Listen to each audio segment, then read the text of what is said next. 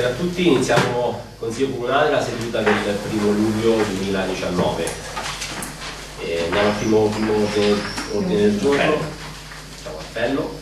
Allora, Narcisi, Presente. Ulissi, Presente. Esposto, Presente. Teodori, Presente. Schiavi, Presente. Gagliardi, Presente. De Angelis, Presente. Pelliccioni, Presente. Neroni, Presente. Caglioni, Presente. Leonetti, Presente. Pierantozzi, Presente. Mascetti, tutti presenti. Bene. Dobbiamo decidere gli scrutatori. Allora, per quanto riguarda la maggioranza, facciamo Alessia, posto. E invece per quanto riguarda la minoranza facciamo Chi vuole farlo? Venuto oggi? tanto la prova Oggi, del sì. Ok. Pierantozzi.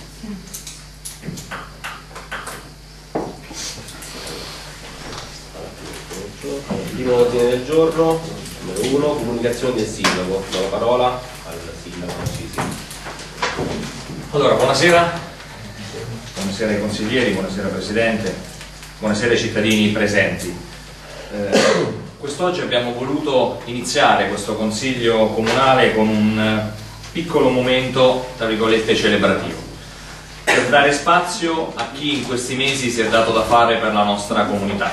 Questo è un po' un, eh, un'abitudine che vorremmo prendere per dare spazio, per dare voce, per dare anche visibilità a chi sul territorio si impegna quotidian- quotidianamente, magari anche nel, nel silenzio, nell'ombra, facendo dei servizi che sono comunque importanti. Noi l'abbiamo detto in campagna elettorale quanto per noi è importante il volontariato, quanto per noi è importante la collaborazione con le associazioni per rilanciare questa nostra comunità, per creare un senso civico forte nei cittadini. Allora abbiamo voluto iniziare proprio oggi, primo luglio, ieri 30 giugno si è chiuso ufficialmente l'anno scolastico 2018-2019 e quest'anno scolastico è stato caratterizzato da un nuovo servizio per quanto riguarda il nostro, il nostro comune, un servizio fortemente voluto dall'amministrazione Caioni e che è stato realizzato dal, dal commissario con una convenzione stipulata eh, lo scorso eh, gennaio, una convenzione fatta tra il comune appunto e un'associazione che sta diventando una bella realtà del nostro territorio, nata eh, poco meno di due anni fa ma che sta crescendo con dei numeri importanti, ho avuto modo di incontrare tanti associati nell'ultimo evento che hanno organizzato qualche, qualche settimana fa, sto parlando ovviamente dell'associazione Radici Solidari, una realtà dicevo abbastanza recente sul nostro territorio ma che già sta facendo dei numeri importanti sia dal punto di vista degli associati e della partecipazione, ma anche e soprattutto per le tante attività che vengono promosse. Quindi si è chiusa la prima parte delle attività che riguardano il periodo gennaio-giugno, adesso si aprirà con tutta una serie di eventi che riguarderanno la seconda parte dell'anno, quindi luglio eh, fino a dicembre. Colgo l'occasione per ringraziare il Presidente che è presente questa sera, Enrico, per tutto il lavoro che sta facendo in collaborazione con l'Auser, eh, proprio con la sua associazione. Allora dicevo, questa sera, il giorno dopo la chiusura dell'anno scolastico, abbiamo voluto invitare in maniera ufficiale sia i tre volontari che hanno dato il via col loro servizio al servizio di nonno vigile e sia il volontario che si occupa della custodia e della cura del parco della stazione perché comunque ci sembra giusto come dicevo all'inizio valorizzare quelle persone che mettono a disposizione il loro tempo la- togliendolo ai propri affetti, alla famiglia, al lavoro, agli hobby comunque in questo caso per dedicarsi agli altri in particolare parlo del servizio nonno vigile per dedicarsi ai bimbi, ai ragazzi diventando anche un esempio importante. Allora adesso chiamerò uno ad uno, abbiamo preparato un piccolo riconoscimento, un piccolo attestato che è niente rispetto al servizio che è stato fatto, però ci tenevamo a mettere un piccolo segno per ringraziare queste persone, questi volontari per il servizio che hanno fatto, perché in particolare per quanto riguarda il nonno vigile si è dato il via ad un servizio davvero importante che sicuramente porteremo avanti nel corso del nostro mandato amministrativo. E quindi allora chiamerei uno a uno e il Presidente del Consiglio premierà con il riconoscimento, iniziando da Benedetto Bassetti.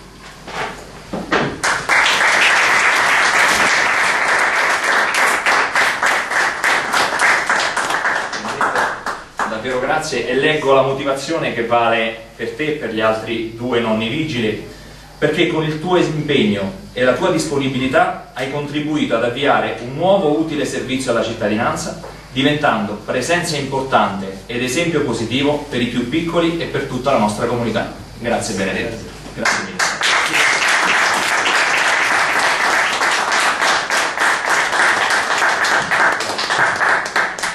Remo Cardinali.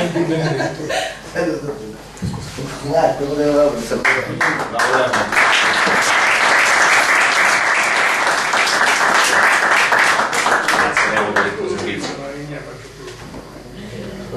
Grazie mille. Ci vediamo, grazie. Ciao a tutti. Grazie Chiara. Eh, oh, grazie. Grazie. No.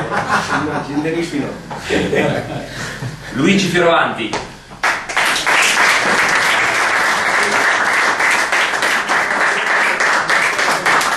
Grazie Luigi, grazie davvero. Complimenti.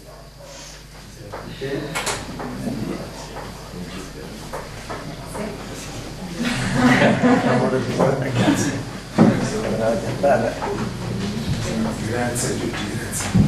E infine Pasquale Giobbi, anche lui per il servizio prestato come custode del comunità.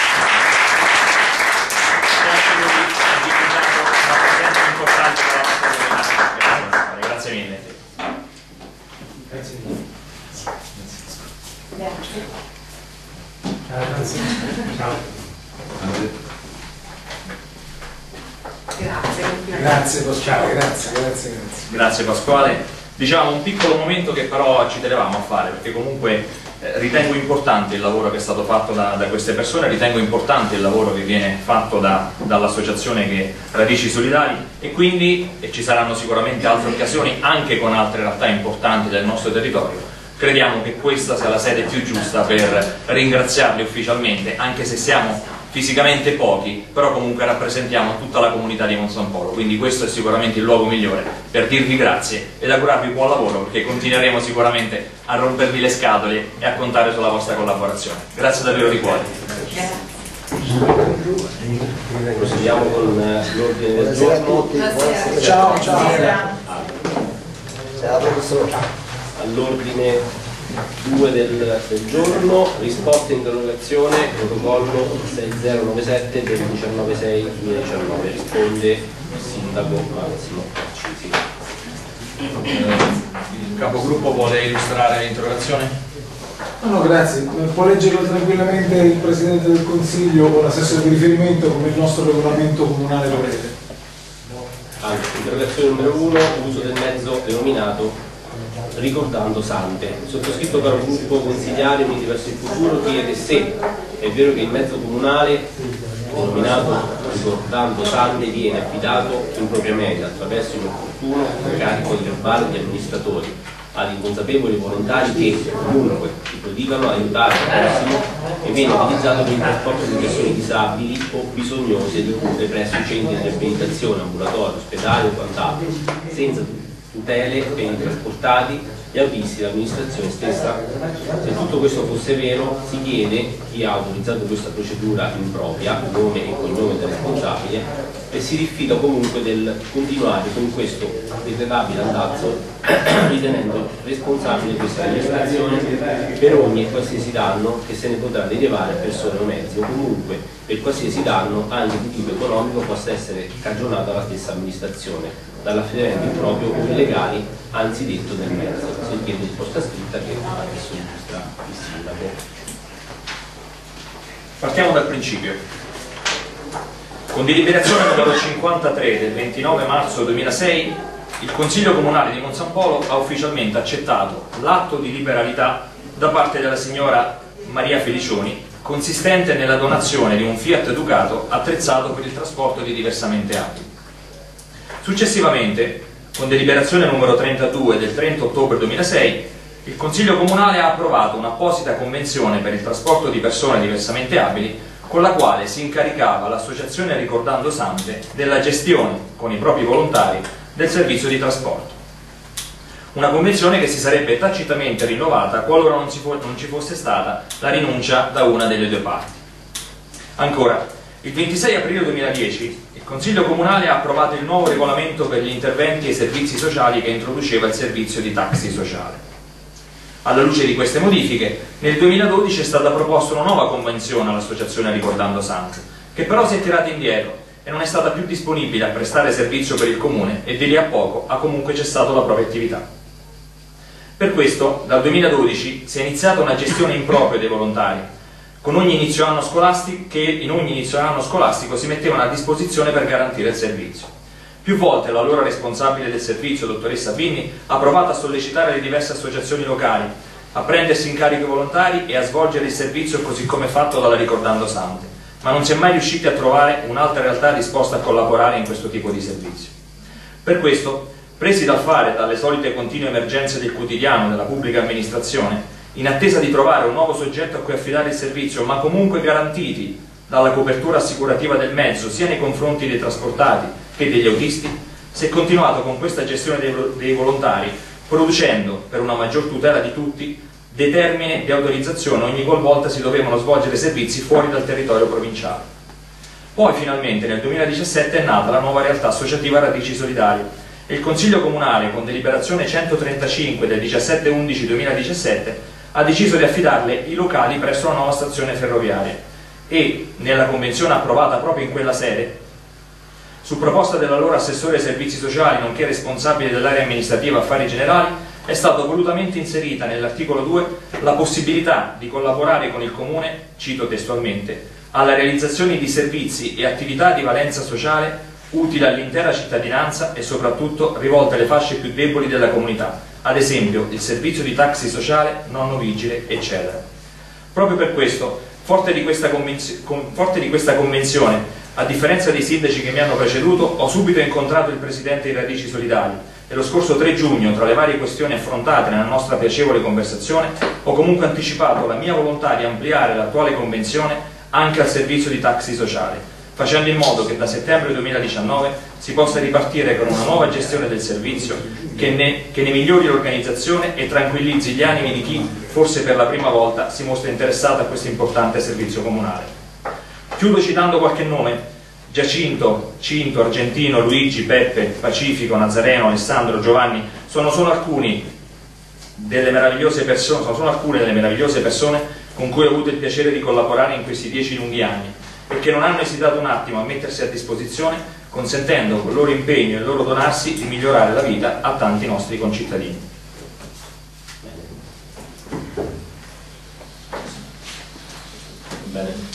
No, eh, non va bene, nel senso che ci sarebbe una domanda canonica da rivolgere all'interrogante, ma visto che non viene fatta, eh, chiedo la possibilità di intervenire. Eh, mi, sembra, mi, sembra, abbastanza eh, intempestivo il 3 giugno, quindi dopo la nostra interrogazione, dire che si è proceduto a eh, io ho chiesto, anzi Uniti verso il futuro, ha chiesto per iscritto, e qui non mi è sembrato di sentire risposta in tal senso, eh, chi ha dato incarico fino ad oggi, negli ultimi, nell'ultimo mese comunque, eh, a, a, queste, a, a, questi volontari che si sono messi sempre a disposizione del, eh, della, del, dei nostri concittadini meno fortunati, eh, ma ehm, non mi viene detto il nome del responsabile dichiarato l'incarico in maniera, eh, non ho ancora capito, eh, legale o illegale, perché mi sembra che ancora oggi il servizio di taxi sociale non è stato affidato a, eh, al gruppo di Radici Solidali. Quindi e ho sentito che solo dopo l'interrogazione nostra, quindi il 3 di giugno, ehm, si è in qualche modo Uh, no, questo è antecedente, chiedo scusa, antecedente 3 di giugno antecedente, ma ecco chi è che ha dato fino ad oggi diciamo, l'incarico uh, a questi volontari che credo si configuri uh, di fatto come una, una, un rapporto di, di dante lavoro in questi termini e non più di volontariato, non essendoci diciamo, un'associazione che faccia da tramite tra l'amministratore e eh, l'autista del pulmino suddetto. Quindi io vorrei sapere intanto chi ha dato l'incarico agli autisti, eh, il nome dell'amministratore che ha dato l'incarico e ehm, come, quindi, come si intende eh, risolvere questa cosa si è capito eh, dando l'incarico a radici solidali. Eh, nel frattempo però cosa si intende fare finché non viene dato l'incarico? Eh, cortesemente se potete rispondere, grazie.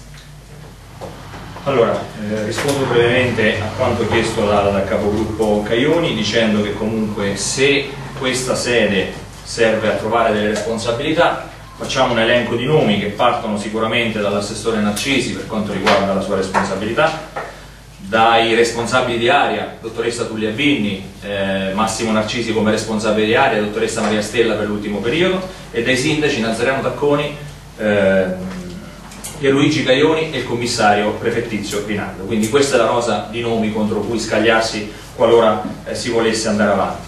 Per quanto riguarda come procedere, l'ho già detto fondamentalmente, quindi ci sarà, adesso ovviamente il servizio è, eh, si chiude di solito il 30 giugno, quindi è finito la scorsa settimana con gli ultimi servizi fatti sabato per quanto riguarda il cimitero e da settembre, come ho già detto nell'intervento, ci sarà una regolarizzazione, diciamo così, o comunque un miglioramento dell'organizzazione grazie alla collaborazione con Radici Solidali, ovviamente non dobbiamo ancora approfondire i contenuti e vedere un attimino le eh, modalità operative, però questa è l'intenzione dell'amministrazione per eh, sistemare questa, questa situazione.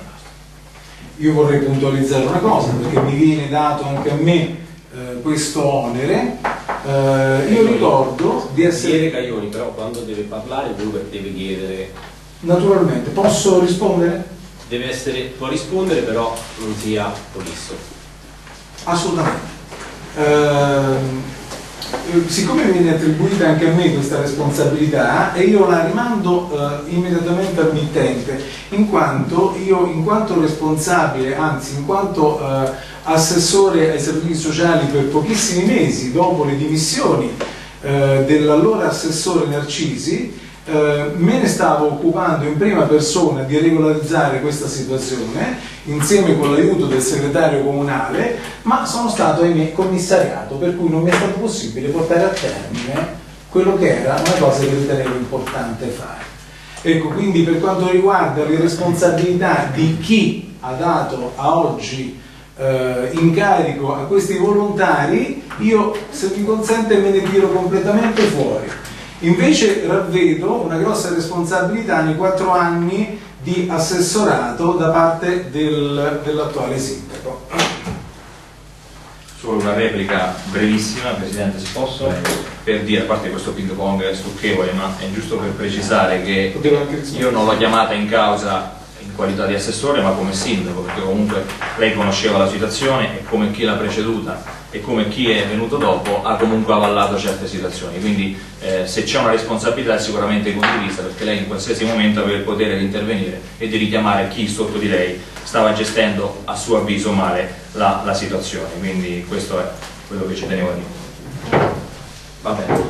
Smetto, non, non replico per evitare la stucchevolezza della cosa. Andiamo avanti.